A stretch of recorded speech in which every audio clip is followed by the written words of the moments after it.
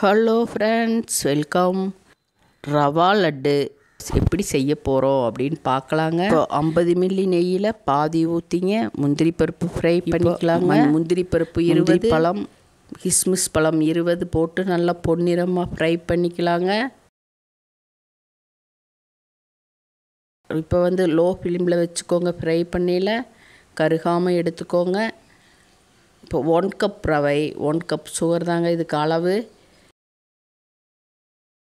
முந்திரி பருப்பு ஒரு இருபது கிஸ்மஸ் பழம் இருபது போட்டுக்கோங்க.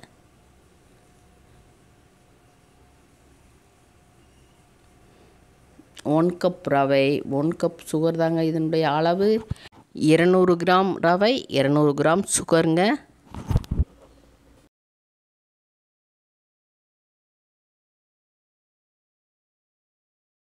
நீங்கள் கப்பில் அளந்து போட்டிங்கன்னா ஒரே மாதிரி ஒரே கப்பில் போட்டுக்கோங்க. தித்திப்பான லவா லட்டு அப்போ தான் கிடைக்கும்.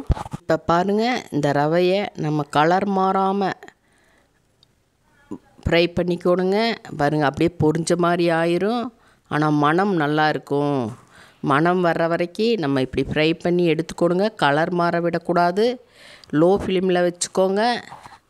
இப்போ எப்படிங்கன்னா தேங்காயை வந்து ஃப்ரை பண்ணிக்கணும். இது டிப்ஸுங்க இந்த தேங்காய் ஃப்ரை பண்ணோம்னால் ஒரு மாதம் ஆனாலும் லட்டு கெடாது. நெய் ஒரு டேபிள் ஸ்பூன் ஊற்றி இந்த மாதிரி கலர் மாறாமல் ஃப்ரை பண்ணிக்கோங்க. ஃப்ரை பண்ணி எடுத்து ஒரு பாத்திரத்தில் வச்சுக்கலாம். பாருங்கள் எடுத்தாச்சு.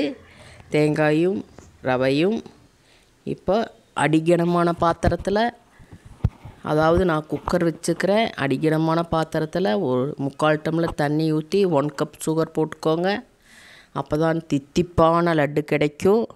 தண்ணியின் அளவு வந்துங்க. முக்கால் டம்ளர்னால் டீ டம்ளர் இருக்கலைங்க. நம்ம சின்ன டம்ளர். அதில் முக்கால் டம்ளர் அளவு. இப்போ இந்த சுகர் கரையிற அளவுக்கு நல்லா கலரி விடுங்க. அடி பிடிக்காமல் நம்ம ஃபஸ்ட்டு பாகம் வந்தால் போதும். ரவையை போட்டு கலரிடலாம்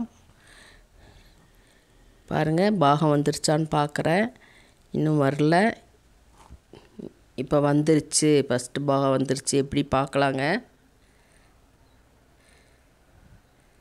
ஃபஸ்ட்டு கம்பி தானுங்க ஃபஸ்ட்டு பாகம். அதனால் உங்களுக்கு பார்க்க தெரியாதுன்னா நம்ம என்ன பண்ணணும்னா இந்த கரண்டியில் எடுத்து கையில் வச்சு இப்படி எடுத்து பார்த்தோம்னால் ஜவு ஜவ்வாக வரும் வருங்க இப்படி வரும். இதுதான் ஃபஸ்ட்டு பாகம். இப்போ நம்ம ரவையை போட்டு கலரிடலாங்க. இங்கே பாருங்கள் பத்து நிமிஷத்தில் இந்த லவா லட்டு செஞ்சிடலாம். நீங்களும் தீபாவளிக்கு இந்த மாதிரி லவா லட்டு செஞ்சு உங்கள் வீட்டில் அசத்துங்க. இதே அளவுகளுடன் செஞ்சு சாப்பிட்டு பாருங்கள் பார்த்துட்டு கமெண்ட்டில் போடுங்க எப்படி இருக்குன்னு ஃப்ரெண்ட்ஸ்க்கெல்லாம் ஷேர் பண்ணுங்கள் லைக் பண்ணுங்கள் பாருங்கள் இப்போ வந்து நம்ம இந்த பிடிக்கிற அளவுக்கு இந்த ட்ரை ஆயிடுச்சுன்னா நம்ம எடுத்துடலாம்.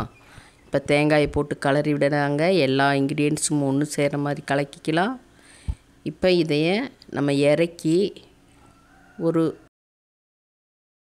ஒரு அரை மணி நேரம் மூடி வச்சிடலாம் இந்த இன்க்ரீடியன்ஸ் எல்லாம் ஒன்று கலந்துருச்சு. பாருங்கள் இப்போ ஏலக்காய் அஞ்சு இங்கிரி எல்லாமே போட்டாச்சு. இப்போ மூடி வச்சு ஒரு அரை மணி நேரம் ஆயிடுச்சுங்க இப்போ எடுத்து மறுபடியும் நெய்யை ஊற்றி கலரை உருண்டு பண்ணிடலாம்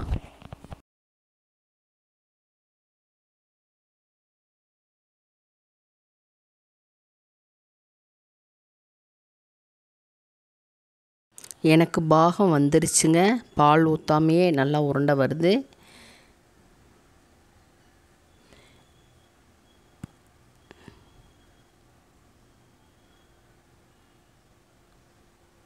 இப்போ உருண்டை எல்லாம் பிடிச்சாச்சு.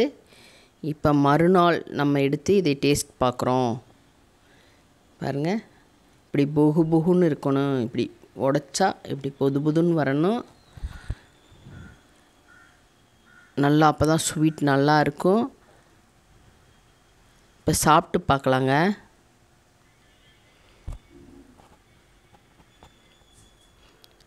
இப்போ தேன் சுவையாக இருக்குங்க. சூப்பரான டேஸ்ட்டு இப்படி புது புதுன்னு உதிரி உதிரியாக இருக்கணுங்க. பாருங்கள் டைட்டாக இருக்கக்கூடாது. இதுதான் பக்குவம். இதனுடைய பக்குவம்.